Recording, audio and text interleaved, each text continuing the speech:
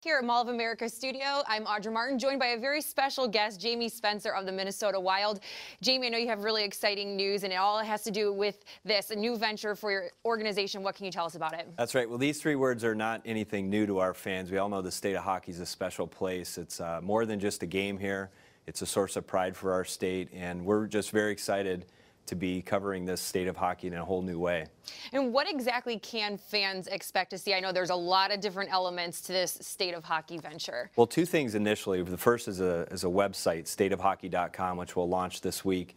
Uh, as well as what we're here to talk about tonight. We're very excited to say that we're partnering with Fox Sports North on a new TV show called State of Hockey, presented by Total Hockey, which is 10 episodes of rich content from Pee Wees to pros and really capturing all the great stories that happen in every rink every weekend here in our great state of hockey. What other ways can fans get involved with the state of hockey? Uh, I know social media is a big factor of this, right? Very big, yes. And again, stateofhockey.com is probably the best destination. We have a Facebook page that's now starting.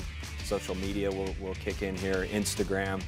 And really, we want this to be highly engaging with our fans and from all ages and all parts of the, of the state of hockey. So fans can, what we're calling user-generated content, can use and share videos, share photos, and anytime that you're really feeling that state of hockey emotion that we all feel when we're in a rink or watching our kids play or at a, at a game where our state just does so well, we, we want you to share that with our, our, uh, our site and with our team, and we'll get those out onto our website and to share with others.